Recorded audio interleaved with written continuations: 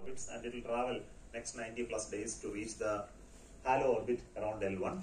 Uh, and I think all of you know what is L1. I think I don't have to explain what is L1. L1 is the uh, point which is between uh, two objects, the moon and sorry, the Earth and the Sun, uh, where the gravity becomes neutralized. But L1 is not a fixed point.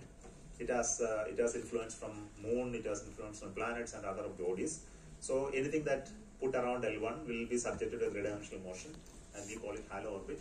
And the orbit of this uh, uh, Aditya L1 will be a very huge one in which the object will continue to move uh, around this in uh, large periodicity and look at sun continuously and also maintain contact with earth continuously. So you can actually observe sun and get the data on a 24 hour basis. This is advantage and we will not always position this satellite directly along the line of sight. We will put the satellite such a way that it looks at sun it doesn't obstruct the uh, sun.